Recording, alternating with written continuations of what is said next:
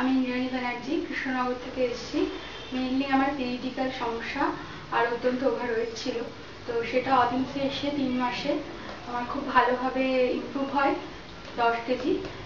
আর অদিনসের সাহায্য নিয়ে ভালো একটা, নিজেকে ভালোভাবে একটা লোকের কাছেও প্রকাশ করতে পারছি। যে একটা ইয়ে ছিল যে ভীষণ মোটা, হ্যান ত্যান, সেই জায়গাগুলো আর নেই। আমি খুব হ্যাপি